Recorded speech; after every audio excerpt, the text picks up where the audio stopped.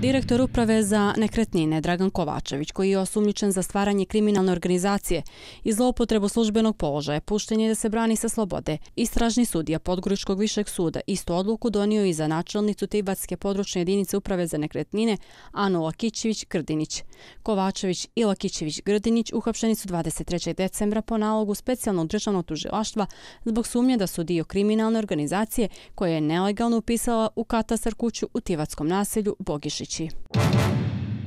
Ministarstvo zdravlja nije dalo saglasnost da profesorica doktorica Marina Ratković nastavi da vodi kliniku za nefrologiju, jer je njoj nakon sticanja prava na penziju produžen ugovor o radu na osnovu posebne saglasnosti ministarstva. Kako objašnjavaju, navedeni izuzetak može se koristiti samo radi obezbiđenja dovoljnog kadra za liječanje pacijenata. Navode kako njena smjena nema veze sa revanšizmom, te da će nastaviti profesionalni angažman u toj ustanovi.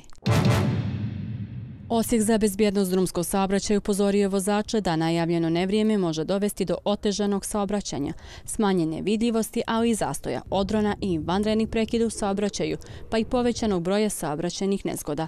Posjećuju da je zimska oprema obavezna i poručuju da će kontrola saobraćajne policije narednih dana biti pojačana.